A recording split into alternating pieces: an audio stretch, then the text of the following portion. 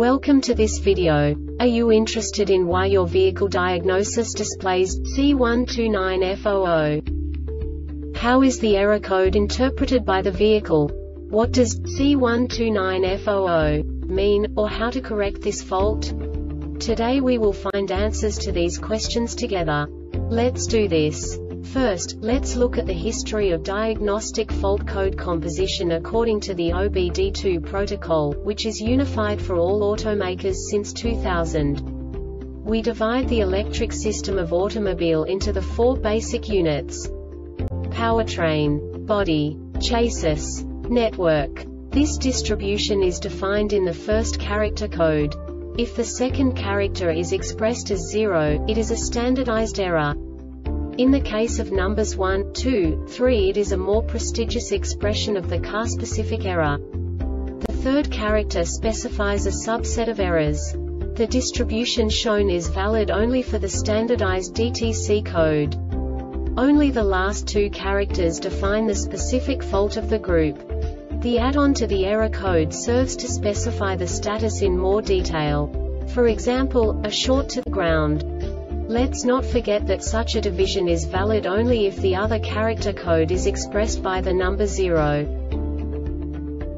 Our website airbagreset.sk produces useful videos for you. You do not have to go through the OBD2 protocol anymore to know how to troubleshoot any car breakdown. You will find all the diagnostic codes that can be diagnosed in a GMC vehicles. Also many other useful things.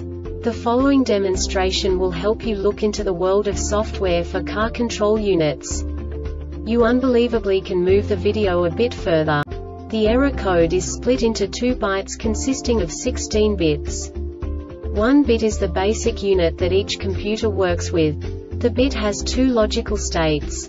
0, low level, 1, high level. By combining the first two bits, the basic character of the error code is expressed. The next two beats again determine the second character. The last beat styles of the first byte define the third character of the code. The second byte is composed of a combination of 8 bits. The first 4 bits determine the fourth character of the code.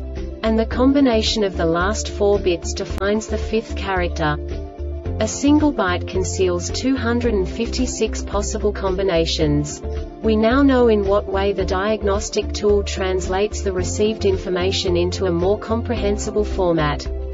The number itself does not make sense to us if we cannot assign information about it to what it actually expresses. So, what does the diagnostic trouble code C129F00 interpret specifically GMC car manufacturers?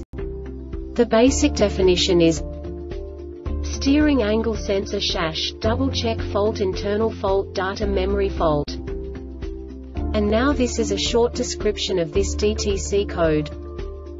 The steering angle sensor SAS is located in the steering wheel module SWM from which it is supplied with power. It is however only the steering angle sensor which communicates on the control area network. CAN. The steering wheel angle sensor module SAS contains two X processors that operate together. The processors receive information about steering wheel angle, steering direction, and steering angle speed from the steering wheel angle sensor SAS and then compare the information with each other. The diagnostic trouble code DTC is stored if the steering wheel angle sensor module SAS registers that the information is incorrect in any way. The anti-spin warning lamp is illuminated. General warning lamp lit and the stability function is not working. The trouble code may be diagnosed when the ignition is on and the angle sensor is initiated. The sensor is initiated by the steering wheel being turned by more than 45 degrees in either direction.